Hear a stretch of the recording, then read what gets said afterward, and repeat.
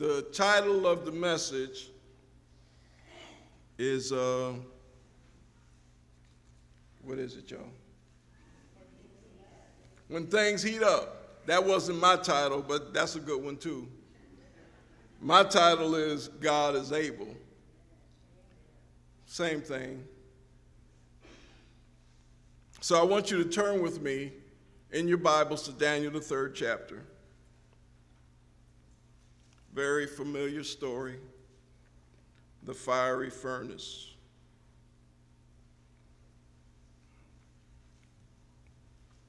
Daniel, the third chapter, I will begin reading at the eighth verse. For this reason, at that time, certain Chaldeans came forward and brought charges against the Jews. They responded and said unto Nebuchadnezzar the king, O king, live forever. You yourself, O king, have made a decree that every man who hears the sound of the horn, flute, lyre, trigon, psaltery, and bagpipe, and all kinds of music is to fall down and worship the golden image. But whosoever does not fall down and worship shall be cast into the midst of a furnace of blazing fire. There are certain Jews whom you have appointed over the administration of the province of Babylon, namely Shadrach, Meshach, and Abednego. These men, O king, have disregarded you. They do not serve your gods or worship the golden image which you have set up. Then Nebuchadnezzar, in rage and anger, gave orders to bring Shadrach, Meshach, and Abednego. Then these men were brought before the king. Nebuchadnezzar responded and said to them, Is it true, Shadrach, Meshach, and Abednego, that you do not serve my gods or worship the golden image that I have set up? Now, if you are ready, at the moment you hear the sound of the horn, flute, lyre, trigon, psaltery, and bagpipe, and all kinds of music to fall down and worship the image that I have made very well. But if you will not worship, you will immediately be cast into the midst of a furnace of blazing fire. And what God is there who can deliver you out of my hands? Shadrach, Meshach, and Abednego answered and said to the king, O Nebuchadnezzar, we do not need to give you an answer concerning this matter. If it be so, our God, whom we serve, is able to deliver us from the furnace of blazing fire, and he will deliver us out of your hands, O king. But even if he does not, let it be known to you, O king, that we are not going to serve your gods or worship the golden image that you have set up. Back up a little bit. King Nebuchadnezzar was full of himself. Not only was he worshiping pagan gods, false gods, he wanted people in his kingdom to worship him. So he made this golden image, 90 feet tall and nine feet wide, and put it out in the middle of the desert. So when the people heard the sound of the music, they would have no excuse to face the image, bow down, and worship. To back up even further,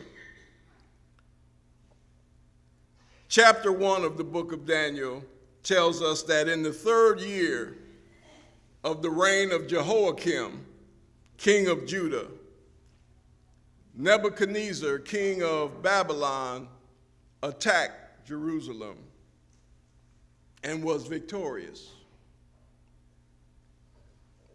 He instructed his chief to take some of the young men captive. But he didn't just want any kind of men, he wanted men of royalty. from noble families, healthy, good looking, and smart, because he wanted to use them for service in his palace. Among these young men selected were Daniel, Shadrach, Meshach, and Abednego. Now, these four men decided they weren't going to defile themselves or pollute their bodies by eating the food that was prepared for them by the king. They convinced the man in charge to allow them to be tested. Let us eat vegetables. And after the test, you make the decision. You determine whether we look healthy or not. So after this test period, these four men appeared healthier and better nourished than any of the other men who ate the prepared food. Not only that, but anytime the king had questions about anything, he found that these four men were better qualified to answer the questions, even more so than his magicians and wise men.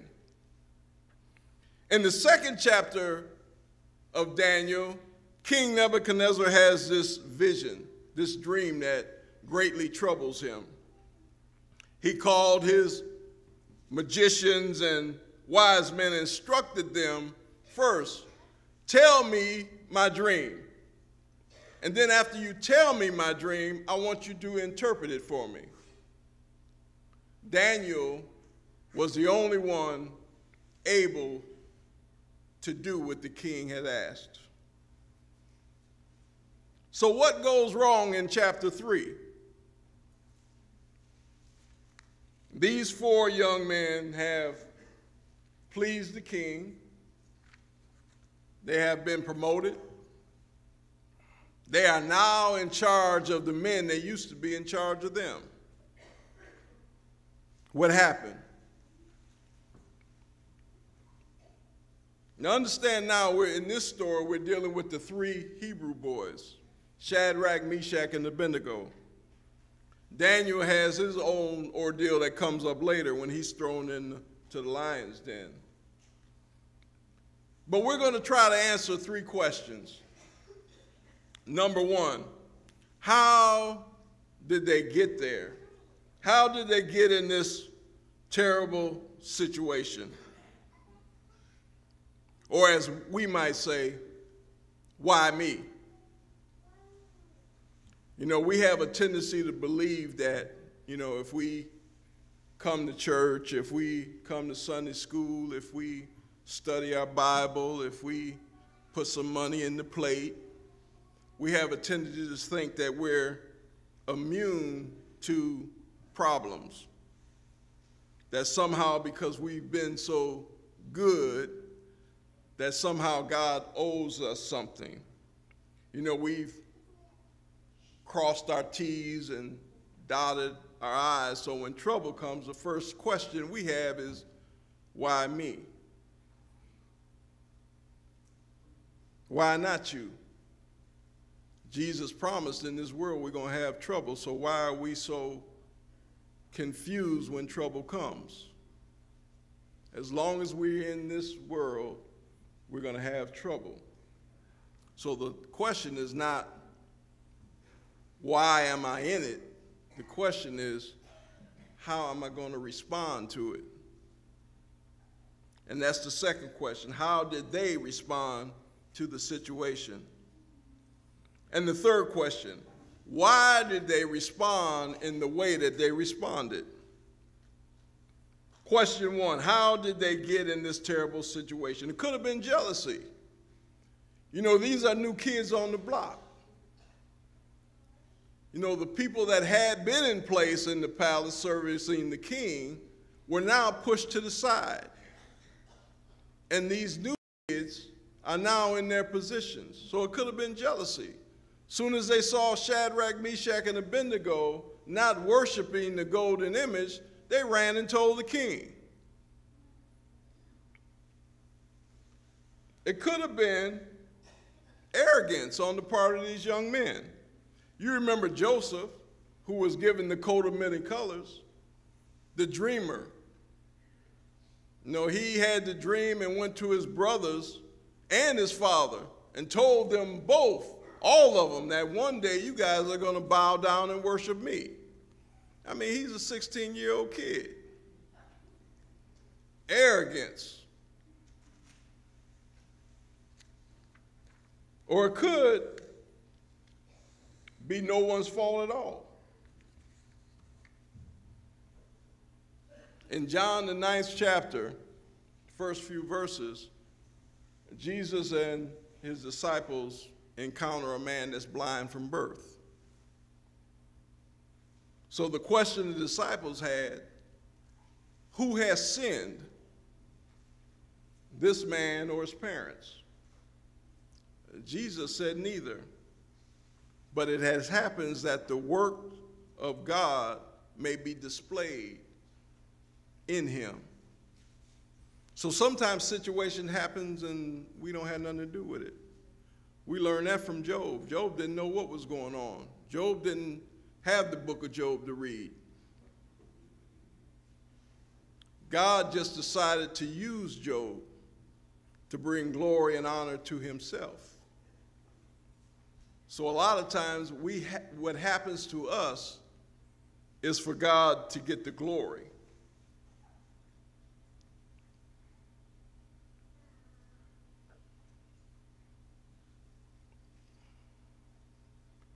When we look back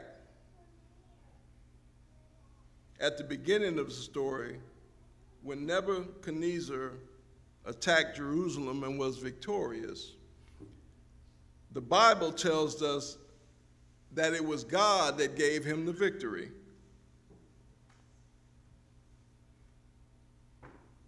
In other words, God set up the whole thing. That's what we mean when we talk about the sovereignty of God, that God is in control. Nothing happens unless God sends it or allows it. in the furnace, the fiery furnace, even though the king turned it up seven times hotter, God controlled the temperature. Again, we learn from the story of Job that Satan was limited in what he could do to Job. So the question is not how did they get in the situation or how did we get in our situation. The real question is I'm in it, so how I'm going to deal with it. Jesus promised in this world you're going to have trouble. Now, how are we supposed to deal with these troubles? let us learn from the three Hebrew boys. Question two How did they respond in their situation? With trust. Verse 17 If it be so, our God, who we serve, is able to deliver us from the furnace of blazing fire, and he will deliver us out of your hands, O king. Trust. They responded with trust, knowing that the God whom they serve was able to deliver, able to protect, able to make a way out of no way, able to supply their every need.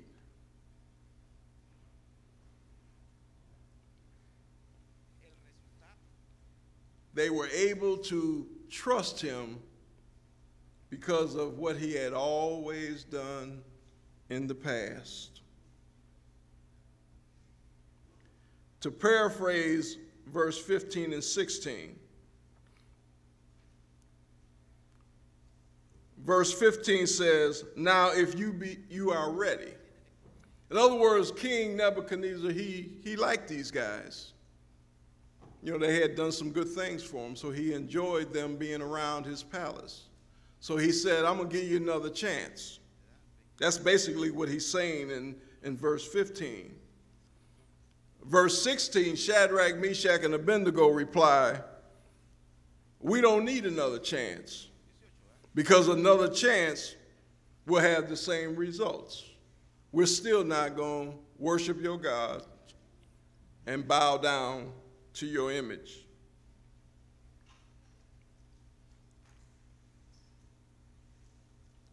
So, who woke you up this morning? Who put food on your table? I always tell my Sunday school class that they, they need to start journaling. You know, write down the blessings of God. Because what happens is God blesses us so much that we forget the blessings. We forget the blessings. It's all about, you know, okay, what have you done for me lately?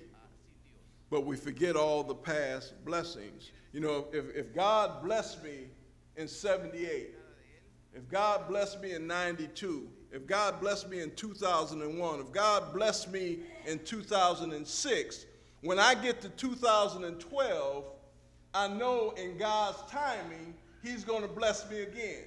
Because God is the same yesterday, today, and forever. He does not change. So if He blessed me here, bless me here, bless me here, bless me here, in the midst of my mess, in the midst of my situation, when God gets ready, He's going to bring me out. So we always have to remember what God has done. As the song says, to God be the glory for the things he has done. With his blood, he saved me. With his power, he raised me. To God be the glory for the things he has done. Question three Why did they respond in the way that they did? Where did this kind of trust come from? The trust came from what God had done for his children in the past. God had developed a track record of blessings. You remember Abram before his name was changed to Abraham when he was getting ready to go into this country and they were violent people. And God, Abraham told Sarah, Well, when we get in here, tell him your sister. Because, you know, you're a good looking woman. And they're going to desire you. And if they desire you, they're just going to kill me. So just tell him you my sister. He kind of told a half truth, but in reality, a half truth is still a lie.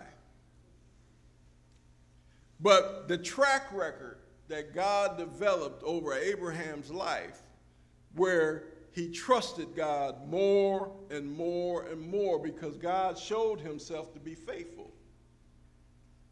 It became easier and easier for Abraham to trust God because of the track record, to the point where he was ready to sacrifice his only son Isaac. That's how much he trusted God. Because even in his mind, if you read in Hebrews, even in his mind, Abraham believed that if he sacrificed his son, God had the power to bring him back. That's trust. A few years ago, I heard a story about a gangbanger just, just creating havoc in the city where he lived. But God touched this young man's life to where he gave his life to the Lord. And instead of out there terrorizing people on the street, he began to witness about Jesus Christ.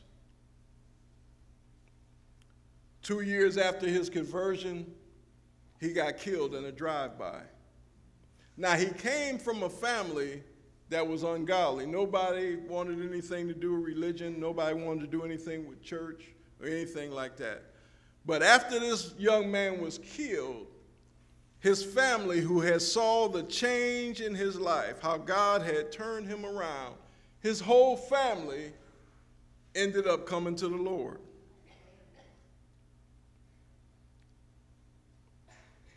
Sounds tragic, but God has a purpose and a plan for everything.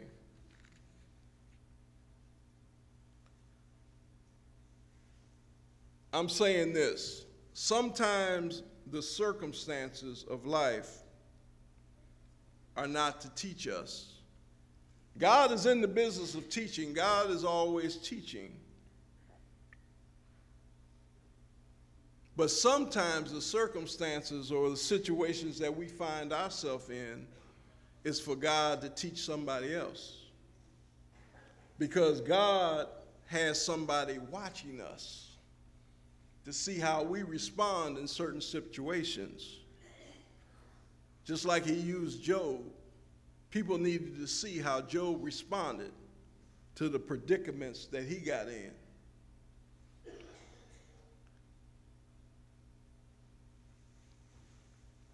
Temptations are common. That's what, what 1 Corinthians 10 13 tells us.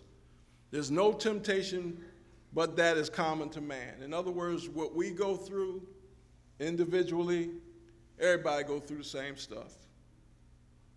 God doesn't pick you out. It's common. But then it says that God is faithful, that he will not let us be tempted above which we are able to bear. But with the temptation, allow a way of escape so that we can endure it. What am I saying? I'm saying that everybody that was brought into captivity didn't go along with God's program.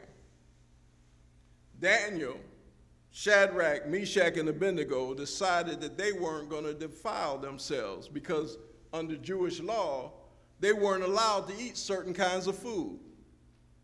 But yet, if you read the story, it says after that testing period, after they were able to eat the vegetables, they said that they appeared to be healthier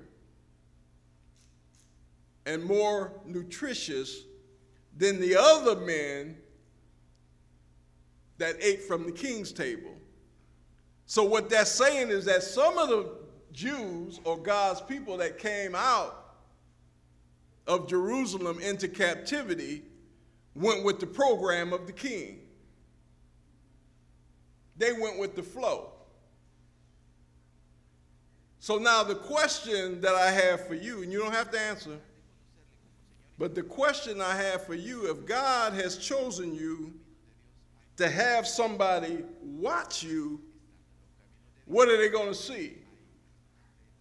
Are they going to see a person that's obedient to the things of God, or are they going to see somebody that's going with the flow?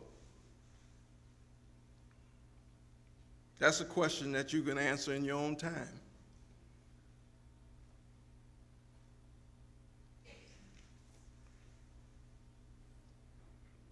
I don't know, you, you may be in the midst of a fiery furnace right now. Whether he'll bring you out or not, I don't know. But he's able. This I do know a bad attitude will keep you in the furnace longer than you need to be.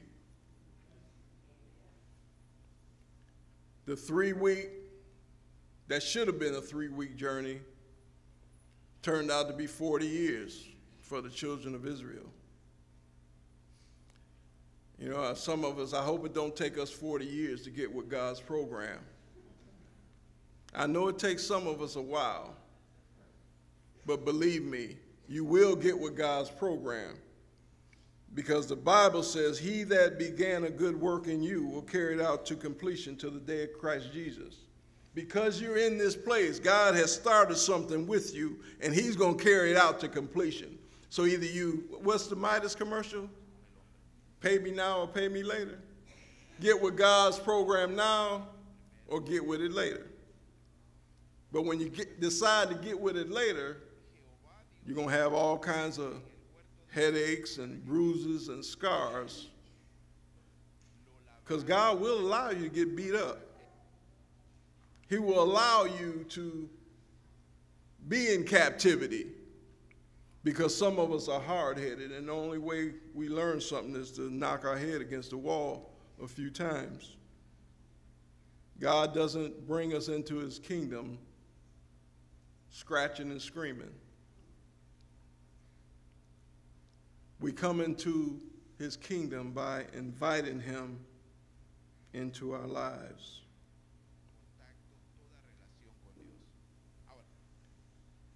The children of Israel that wandered for 40 years, the Bible says that they didn't enter into the promised land because of unbelief. God has many, many, many promises for his children. And a lot of us don't enter into God's promises because we just choose not to believe.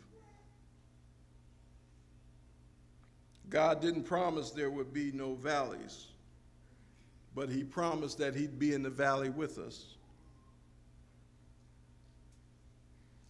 So, are you going to focus on your situation? Or are you going to trust God's word when He says, I'll never leave you nor forsake you? Are you going to worry about your circumstance or stand on the promise? And my God will supply all of my needs according to his riches and glory in Christ Jesus. God is the same yesterday, today, and forever. The God that delivered Shadrach, Meshach, and Abednego still delivers today. Through the storms of life, God is still able. Through your troubles and struggles, God is still able. In the hospital room, God is still able. In the courtroom, God is still able. In your own personal fiery furnace, God is still able. All these blessings and many more are available to the children of God. The children of God. Meaning you have to be in the family. Look what King Nebuchadnezzar found out in verse 28. This is after the, the, three Hebrew boys are delivered from the fiery furnace. Nebuchadnezzar responded and said, Blessed be the God of Shadrach, Meshach, and Abednego, who has sent his angel and delivered his servants who put their trust in him. The first three chapters of Genesis talks about the creation, talks about the fall of man. All the rest of the Bible, God is simply trying to get us to do one thing trust me, I got this. I got a plan for your life that was laid out from the foundation of the world. I know what you need before you even ask. I got a plan for your life. All through the Bible, that's what he's trying to teach us.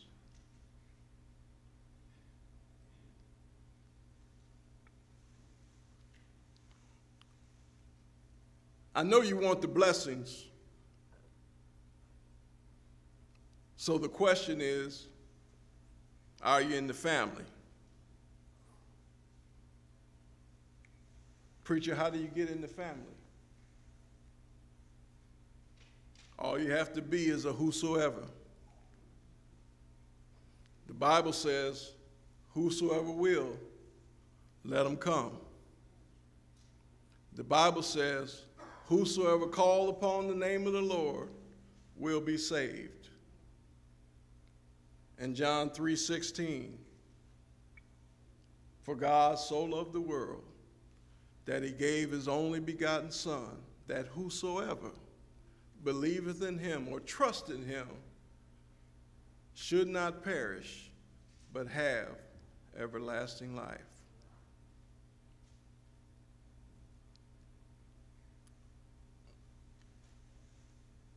In a minute, we'll sing the song of response.